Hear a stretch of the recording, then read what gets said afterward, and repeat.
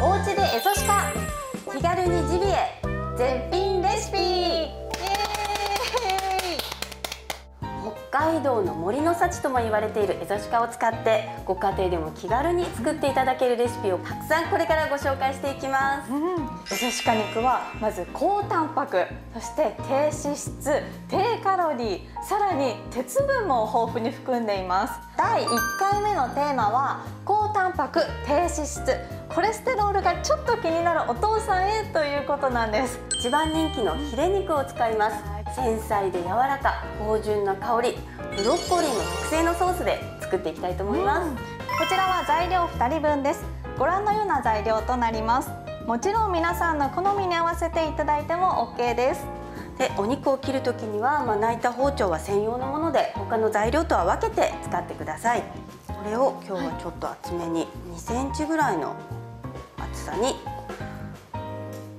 本当に見ているだけでもお肉がすごく柔らかいんだなっていうのが伝わってきます。塩コショウをしていきます。結構しっかりめにつけた方がいいですか？はい適量で。一度ざるにあけます。茹で汁は全部捨てないでちょっとだけ取っておいてください。ブロッコリーってこうビタミン C が多いのが特徴ですもんね。はい。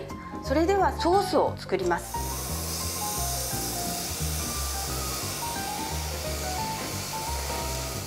ブロッコリー全体にこの油が回ったなという感じになりましたらこの茹で汁です。中に入れます。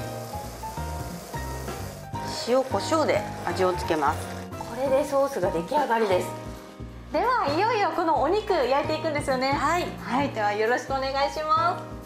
中心部まで火が通るようにしっかりと加熱をして召し上がってください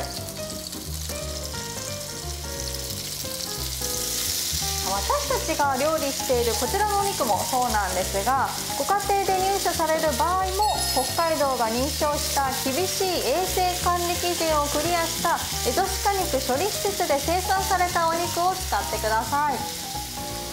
先生焼けた時の目安ってどうやって見ればいいですか、はいはい、お肉をこう触ってみて弾力がしっかりあるのとあと刺してみて透明な汁が出てきたらもう中までしっかりと火が入っています。はい。ブロッコリーソースの上にお肉を。あー美味しそう、トマトソース。はいそれではこれで完成です。鹿ヒレ肉のステーキ特製ブロッコリーソースです。えこんなに柔らかいんですね。とても柔らかくて今日のソースにもとってもよく合うと思います。野菜がソースになっているのでやっぱりお父さんとか男性の方にも好んで食べてほしいですね。そうですね。お野菜も一緒に。もう自然と食べられますね。お家で食べるエゾシカ料理。手軽にできてとっても美味しい。北海道では毎月第4火曜日は鹿の日です。ぜひ皆さんも食べてみてください。それでは次回も美味しいエゾシカ料理をご紹介していきますバイバーイ。